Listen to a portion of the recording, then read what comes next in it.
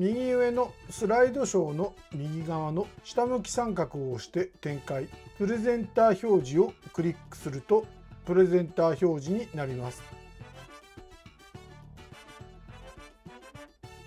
こちらのプレゼンター表示を手元のパソコンにこちらの大きな画面をスクリーンに表示すると手元でプレゼンター表示を見ながらスピーカーノートを確認して発表することができます。プレゼンタービューを使うと